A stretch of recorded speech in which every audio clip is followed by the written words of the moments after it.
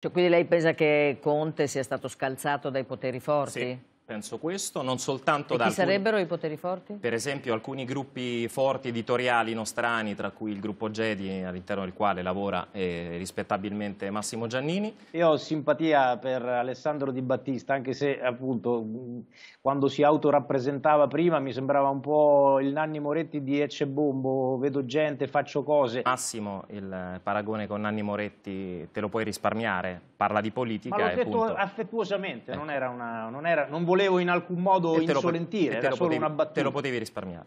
Per quanto riguarda... Vabbè, lei si poteva risparmiare di dire che io sono in un gruppo editoriale che rappresenta i poteri forti che hanno buttato giù... Io credo, Ponte, Massimo, no? che un tempo eh. quando lavoravi in Repubblica, Repubblica faceva delle battaglie contro l'accentramento di potere mediatico, il gruppo Berlusconi, Oggi il gruppo Gedi, che fa capo alla famiglia Elkan, che ha altri interessi oltre a quello editoriale, a cominciare da interessi finanziari, evidentemente rappresenta un potere forte. Non si tratta di complotto. La parola complotto l'hai utilizzata tu per screditare un ragionamento. Io non mi faccio più screditare. Eh, qual è, Ho quali utilizzato... sono le prove? Allora... Le prove sono una campagna mediatica All... che evidentemente per mesi è andata avanti contro il governo precedente che poi io su molte cose ho attaccato e le prove sono state svariate dichiarazioni da parte di Confindustria che è evidente evidente che abbiano un legame con alcuni partiti politici, a cominciare magari dalla Lega di Salvini, convincendo Salvini ad entrare in questo governo e ad appoggiare il governo Draghi. Questo è evidente. Allora... Negare che esistano queste influenze significa negare la storia.